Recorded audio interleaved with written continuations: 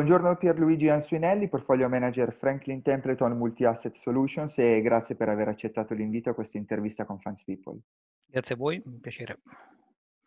Innanzitutto parliamo un po' del, del panorama italiano alla luce della tua esperienza, in particolare eh, del tuo rapporto e conoscenza del panorama degli investitori istituzionali. Eh, quali sono in questo momento eh, per la tua esperienza, per quello che stai vedendo, le domande che si stanno ponendo questo tipo di investitori e se tutto quello che è successo dall'inizio dell'anno ad oggi, in particolare con la correzione, grande correzione del primo trimestre e il riposizionamento delle asset class, se cambieranno le esigenze e che cosa andranno a ricercare questa, questa tipologia di investitori. Okay, dunque, allora, eh, diciamo che a livello istituzionale, quindi non di investitore al dettaglio, eh, ma a livello istituzionale, a nostro avviso, non dovrebbe cambiare molto, perché il modo in cui noi siamo abituati a lavorare è con una strategia ben definita sempre, alla quale ci atteniamo, cercando di non farci trascinare dall'ultima notizia o dall'ultimo utile della società che magari è riportato oggi. Ehm, in Italia questo non sempre accade, quello che abbiamo notato negli ultimi anni è che anche grandi investitori istituzionali, ad fondi pensione, hanno gradualmente accorciato l'orizzonte di investimento e questo li, porta, o se vuoi ci porta, a essere più sensibili alle notizie di, di breve periodo. Andando avanti, secondo me, la prima cosa che ho detto, quella di avere una strategia coerente con gli obiettivi, è un qualcosa che si raffermerà ancora, perché mi consente di navigare queste fasi di incertezza e questo te lo dico perché tutta questa crisi e il recupero che stiamo vivendo adesso è venuto in un tempo rapidissimo. Questo è, non era mai successo in tempi così rapidi, quindi in, nell'arco di un mese c'è stato il, l'Armageddon, il crollo, nell'arco di poche settimane, meno di un mese, c'è stato un fortissimo recupero. Quindi non ti dava neanche tempo di razionalizzare e io dico la verità, noi la prima fase del coronavirus l'abbiamo sottostimata come credo un po' tutti, era, era difficile capire quello che sarebbe successo dopo. La seconda fase l'abbiamo razionalizzato un pochino meglio, ma subito è arrivato il supporto delle banche centrali e dei governi e quindi bisognerà essere molto rapidi a eh, vedere un po' il quadro in generale e non farsi trascinare da quello che dice la Federal Reserve piuttosto che, che la BCE oggi. Quindi andando avanti questa cosa impatterà sul modo di gestire i portafogli e se mi permetti, con questo chiudo, il tema della tecnologia che cominciava a preoccupare in molti per un tema di valutazioni, ed effettivamente è un tema che esiste ancora oggi. Alcune società sono un po' troppo care, però rapidamente è stato posto in tutt'altra luce. Quindi si è capito come questo settore innanzitutto non è più un settore solo, perché il tema tech impatta tutti i settori ed è un tema che ci accompagnerà in modo fondamentale anche nei portafogli di qui ai prossimi, ai prossimi anni. E questo è un impatto molto grande su come vengono gestiti i portafogli rispetto a prima. Una cosa che hai citato è eh, la necessità di elaborare in modo eh, veloce e, e organico eh, tutti i dati che arrivano, eh, tutte le notizie che arrivano e i, i, dati che ci arrivano da ogni parte del mondo. Eh, appunto siamo di fronte a una crisi pandemica, quindi a livello globale siamo di fronte a diversi atteggiamenti. Eh, quello delle banche centrali comunque si dimostra coordinato, quello dei governi dobbiamo andare a valutare i diversi atteggiamenti dei differenti governi. Eh, per un asset manager globale come Franklin Templeton, che ha 600 professionisti dell'investimento in tutto il mondo, serve 170 paesi, eh, significa anche avere size e capacità di mettere in campo una ricerca eh, di un certo tipo, di una certa profondità. Eh, una cosa interessante secondo me è se riesci a farci capire più nello specifico come questa grande mole di ricerca e di dati che vi arriva anche da tutti i professionisti che avete sparsi per il mondo, eh, si riesce poi a sintetizzare in una view unica eh, utilizzabile all'interno dei portafogli come quelli che tu gestisci. Sì, e dunque allora, è fondamentale sì, avere le 80 persone che sono tra gestori e analisti che fanno prodotti multi-asset più tutti gli altri analisti e gestori sui singoli mercati. Ad esempio, so, c'è il team India, c'è il team che si occupa del Medio Oriente, c'è il team che fa il fixed income europeo. E, ehm, noi sfruttiamo entrambe le cose. Il primo team è indipendente, nel senso che la nostra decisione è indipendente da quella che fa eh, il gestore in India piuttosto che a Dubai.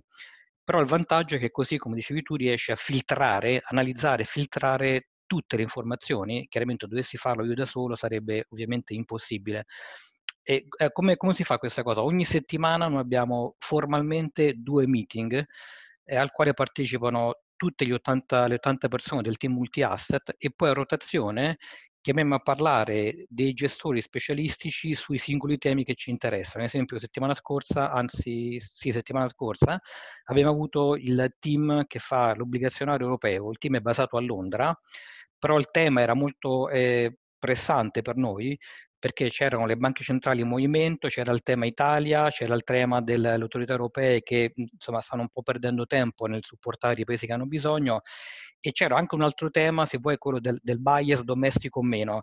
De, mi, mi, spiego meglio, ad esempio, le, le, le persone, gli analisti in America tendono a vedere l'Europa in un modo che noi europei non capiamo e spesso è un modo in questa fase negativo, cioè l'Italia certo. diventa il problema principale del mondo, quando probabilmente ce n'è qualcuno un po' più grande del nostro.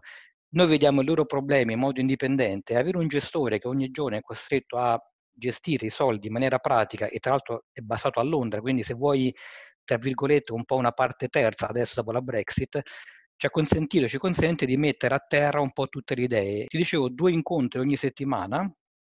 Il primo incontro è di presentazione dei temi, delle idee di investimento, c'è una discussione aperta e normalmente funziona con la, la, la tecnica della, ehm, si chiama dell'avvocato del diavolo, ossia ehm, un gestore e alcuni analisti presentano un tema di investimento e sostanzialmente tutti gli altri, chi vuole, sì. deve, eh, ma, non, ma, non, per divertirsi, deve semplicemente no, certo.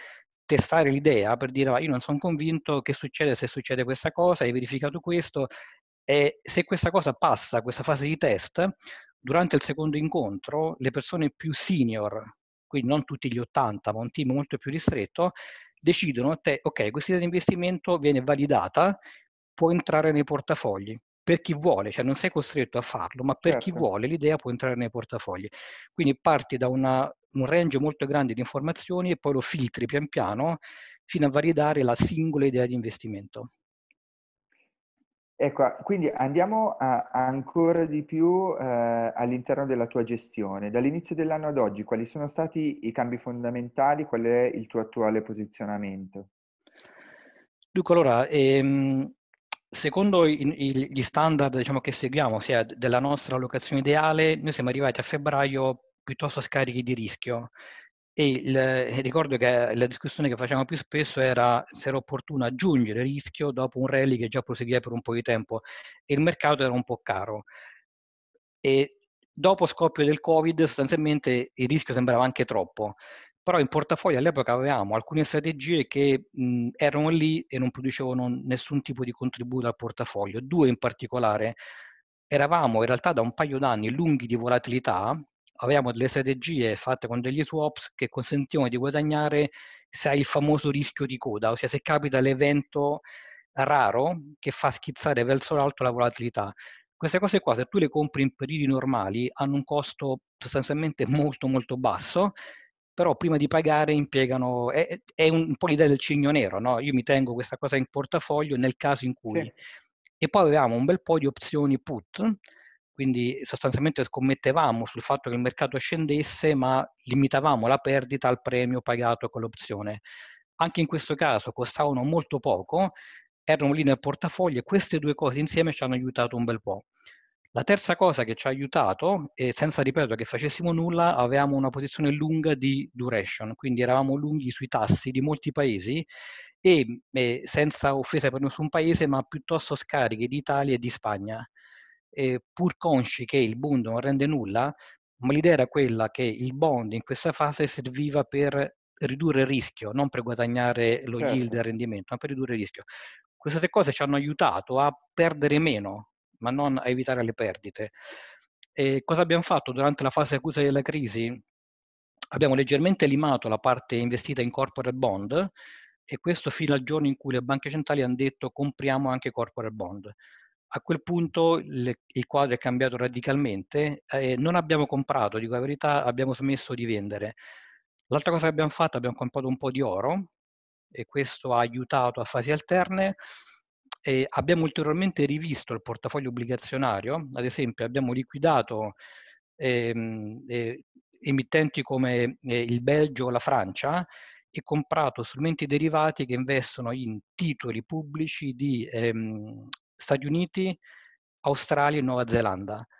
Eh, questo perché sono emittenti più sicuri eh, per, per, per, tanti motivi di carattere fondamentale. L'abbiamo fatto con derivati, così non abbiamo problema di coprire il rischio valutario. Se lo fai tramite futures non hai il problema di dire sì, certo. mi espongo al treasury americano ma anche il dollaro. In questo modo questo rischio è stato limitato. E l'ultima cosa, e finisco, verso l'ultima parte del mese di marzo abbiamo in realtà aggiunto un po' di rischio. L'abbiamo fatto ancora una volta con opzioni, questa volta opzioni call. Il motivo qui qual era? Era che normalmente c'è un vecchio adagio che viene, viene spesso tirato in ballo nel mercato finanziario, soprattutto ex post, ed è quello di non combattere mai le banche centrali. Questa cosa sembra controintuitiva quando sei nel mezzo di uno shock con forte recessione, dislocation di mercato, però storicamente è una cosa che è sempre stata vera. Quando le banche centrali entrano in gioco e lo fanno, questa volta l'hanno fatto veramente in modo molto molto forte, e non è veramente saggio mettersi contro. Quindi abbiamo giocato questo movimento con delle opzioni perché ad oggi siamo ancora convinti che è un movimento che potrebbe non durare ancora per molto. Mm è stato un po' troppo forte, un po' troppo rapido. Eh, e quindi abbiamo limitato un po' i danni all'inizio e poi sfruttato un po' la gamba a rialzo. Ora siamo alla finestra per vedere, eh, soprattutto sul fronte fiscale, come vanno avanti le cose. Ti dico questo perché la, la, la, la parte monetaria in realtà di sé non crea domanda e noi abbiamo avuto uno shock da domanda, ossia non crea domanda direttamente. Sì, sì, Se io do soldi a te, banca, eh, tu per creare domanda devi dare credito all'economia, quindi alle imprese.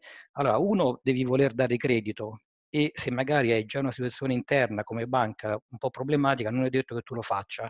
Due, l'impresa deve venire da te e chiederti soldi.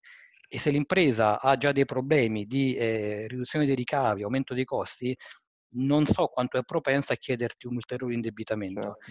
La parte fiscale invece, fatta in un certo modo, arriva direttamente a monte e può direttamente stimolare la domanda. Questa cosa è evidente se tu lo fai tagliando le tasse, dando sussidi al reddito e facendo iniziative di questo tipo. Quindi più vediamo di queste manovre, più eh, diciamo, diventiamo, eh, non direi ottimisti, direi meno negativi, che forse è il modo migliore di vedere le cose in sì. questa fase. Se guardiamo a, a, alla, alle soluzioni possibili per investire, eh, dividerei il campo delle aspettative in due, in due diciamo, i, i, grossi idee di investimento. La prima, come gestire la fase attuale, che è un po' più incerta. La seconda, come sfruttare l'opportunità di lungo periodo. Allora, per la prima fase, quella attuale, che può durare per qualche trimestre ancora, eh, il suggerimento è di guardare a un fondo che si chiama Franklin Diversified Balanced, è un fondo multi-asset dinamico in cui facciamo tutte le cose che ho raccontato in precedenza e altre ancora. Quindi si muove molto rapidamente e si è comportato veramente bene in questa fase. Guardando invece a lungo periodo, ci sono due temi che emergono decisamente come interessanti. Uno di cui si parla molto, anche troppo, la tecnologia. Eh, noi abbiamo un fondo storico, eh, si chiama Franklin, Te- Franklin Technology, e ricordo anche che noi siamo basati nella Silicon Valley, quindi storicamente abbiamo diciamo, un vantaggio competitivo. Abbiamo anche lanciato un fondo che si chiama Franklin Innovation per allargare il concetto di tecnologia a tutti i settori, perché è esattamente questo quello che sta accadendo. Eh, non è più un settore legato alla Apple, alla Google o ai famosi nomi di cui parlano tutti, ma entra un po' in tutti i settori dell'attività economica. L'altro tema, dicevo, di cui si parla meno è quello dei mercati emergenti. E dico questo perché anche questo è un tema per noi storico, tutti li guardano ora come un rischio. In realtà anche, anche, per loro ci sarà una trasformazione e non è più vero che i mercati emergenti li compriamo e li vendiamo tutti in blocco. Andare a selezionarli sul singolo paese, sul singolo emittente, farà una differenza fondamentale. Pensate semplicemente all'impatto che c'è stato mh, a causa del petrolio, molto negativo per Brasile e Messico, molto positivo per Cina e India. Eh, l'impatto anche tecnologico, la Cina è più avanti nello sfruttare questo vantaggio competitivo che dà la tecnologia, altre aree del mondo sono decisamente più indietro. Quindi questa cosa ci consente a lungo termine di eh, approfittare di quello che è successo nei mesi di febbraio e marzo.